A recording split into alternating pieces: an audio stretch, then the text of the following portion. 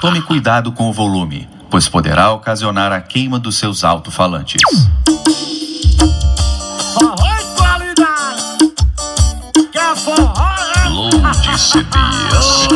Potência.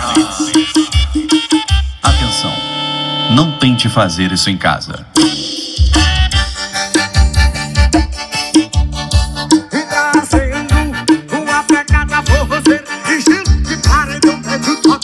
tu verras.